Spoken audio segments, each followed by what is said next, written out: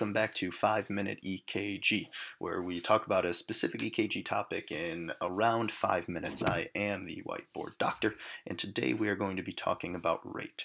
Um, so, when talking about rate, uh, just very introductory things, um, you can have a slow, normal, or fast rate. So, slow rate is bradycardia, and bradycardia is less than 60 beats per minute. So, we'll do less than 60 and then BPM, beats per minute.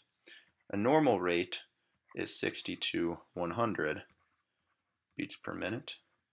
And a fast rate, or tachycardia, which I'll abbreviate as tachy, is greater than 100 beats per minute. When calculating rate, um, there are a few things you have to pay attention to.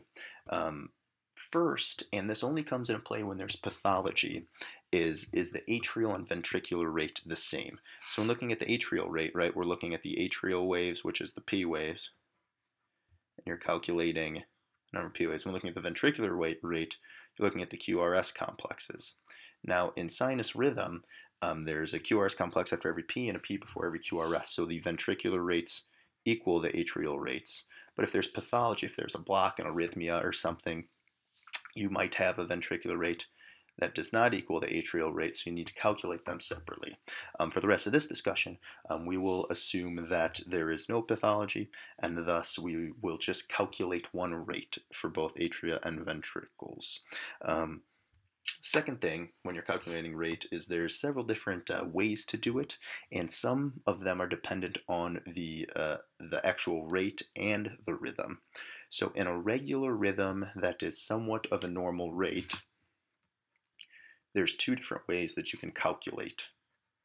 So we'll say this is a regular rhythm. The first way is you can actually do 300 divided by the number of large boxes, LBs, between the R to R interval. So we have R and we have R, and the space between them is the interval. So what we're going to count is the number of large boxes between this interval. And we're take 300 divided by that. So we have 1, 2, 3, 4, 5. And that is actually the wrong math, right? Because this is not a box here. So it's actually going to be 1, 2, 3, 4 large boxes. So if we do 300 divided by 4, we get a rate of 75, which is normal, right, between 60 and 100. Um, so what's kind of a cheating way we can do this? Well, cheating way we can do this is you can actually pre-label, so you still look at the first R, and you want to find an R that lays somewhat on a line of a big box. So this is relatively close. And then you can actually label each additional box, 300, 150, 100, 75, 60, 50. So this is a generic labeling. It's not based just on this EKG. What you do is you look to this first R and then you find where the next R falls. And the next R falls on 75. So that's consistent. So why does this work? What is this 300 number? Where did we get it from? Well, where we got it from is that um, the total time of this EKG, right, from start to finish is 10 seconds. And each large box is 0.2 seconds. So what this is going to equal is the number of large boxes on the entire strip, right? But that's only over 10 seconds. The heart rate is over 60 seconds, right? So you have to multiply this by 6, and that actually equals 300. So 300 is the number of large boxes in 60 seconds. So when we look at R to R, that's one beat, and we look at the number of boxes in one beat, and then we divide 300 by that number to get the number of beats in 60 seconds. So that works for regular rhythms that are relatively normal rate. So what if you have a very fast rate where you can't use large boxes?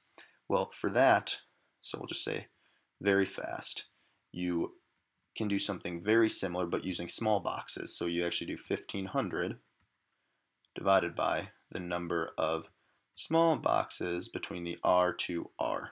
This 1500 came from the exact same math, except you're going to use 0.04 seconds is the denominator because that's the number of seconds in each little box. So you will divide 1500 divided by the number of small boxes between the R to R interval. So that's for very fast rates just because you can't use the large boxes. Kind of a more fail-safe thing to do, especially if you have very slow rates or irregular rates, is just to go back, and we already said this, but remember from the start to the finish of this EKG is 10 seconds. Each R is one beat of the heart. So I can actually count the number of R's in 10 seconds. So one, two, three, four, five, six, seven, eight, nine, 10, 11, 12. So that's how many beats there are in 10 seconds. Obviously, you have to multiply that by 6, so we'll go over here. 12 times 6 equals 72 beats per minute. So not quite 75, but very, very close. Um, and this, using this third method, um, if you have any regular rhythm that you didn't realize or if it's too slow um, to calculate using the large box method, um, this method will give you a more accurate picture. So those are three different ways to calculate the rate. Remember, if there's pathology, calculate the ventricular and atrial rate separately. Um, otherwise, um, oftentimes the EKG gives you a rate. You should double check it on your own, but usually the computerized um, rate is the correct rate, which is more than can be said for most of the computerized interpretations. Um, I look forward to uh, seeing you guys again on one of the future videos and wish you the best. Goodbye.